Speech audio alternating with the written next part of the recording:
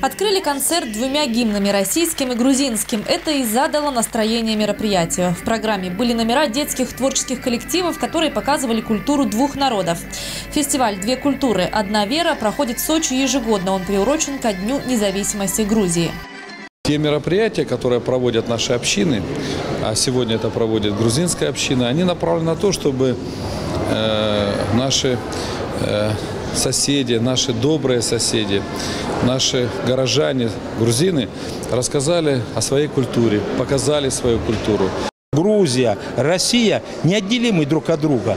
Иначе нельзя никак. Мы уже не одно столетие дружим, понимаем друг друга.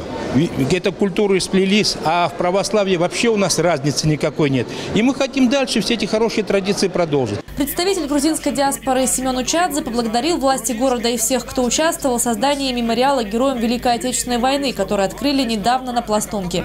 И добавил, что этот вариант мемориального комплекса не окончательный, имена героев еще будут добавляться.